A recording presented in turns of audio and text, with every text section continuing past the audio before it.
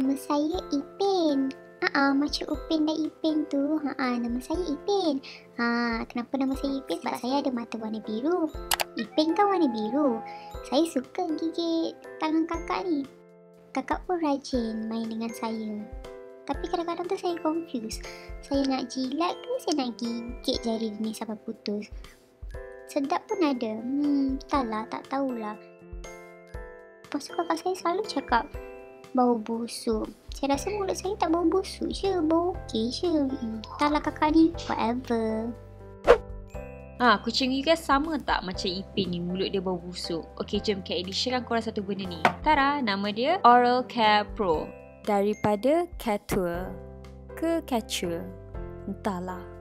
Ha, apa-apa pun Edi beli ni dengan harga RM29.90. Okay. Dan Edi pula tak rajin nak gosok gigi diorang ni satu-satu. So Edi cuba benda ni. Ha, so ni lah jadi penyelamat Lady. So apa dia buat? Dia boleh freshen breath Ah, without brushing teeth. Ah, tu yang Cat Lady nak. Lepas tu dia natural, safe and tak harmful ingredients ni. And dia boleh help untuk control kucing punya plug. Ah, gitu. Diorang pada plug kan. Yelah gigi kan. So apa-apa pun Cat Lady pakai benda ni lah untuk kurangkan sikit bau bau harum mulut-mulut kucing Cat Lady ni kan.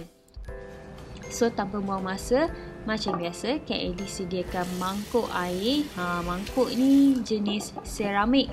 Ha, you guys pakailah. Ha, tak kisahlah mangkuk jenis apa pun. Kak Edi suka pakai seramik ni sebab dia sejuk.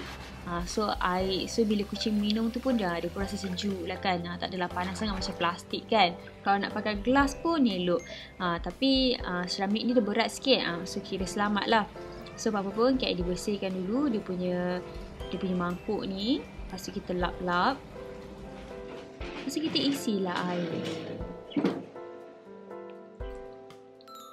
Sebab Eddie ada banyak kucing kat rumah, Eddie memang isi banyak. Kalau boleh sama penuh. Tengok Nala ni. Dia macam tak sabar dah nak minum kan. Okay, and biasanya Kak Eddie dah buat sekatan sendiri. Satu penuh ceramik bowl ni dalam kurang 1 liter. Maknanya 1000 ml lah kan. Okey, cara dia satu sachet untuk 500 ml. Ha, so ni kita pakai dua dekat sini. Okay, dia akan pakai dua. Lepas tu campurkan je dengan air minuman dia tu. Nah, pusyuk betul Nala tengok resepi resepi air dia kan. Nak buat orange juice ke watermelon juice ke entahlah. Tapi orang kedai tu cakap korang tak boleh tinggalkan air ni lebih daripada 3 hari. Ha, make sure dia kena habiskan. Kalau tak habis, kena buat baru. Ha, tapi macam kat Eddie so far, diorang akan habis dalam sebelum 3 hari tu. So, tak ada masalah lah. Okay, and tu saja boleh tinggalkan kat sini and aku korang akan minum. Uh, macam kat Eddie tak tak sanggup nak tunggu dua minum ni untuk nak record je. So berpandai je lah eh. Uh, okay guys, bye. Jumpa korang dekat next video.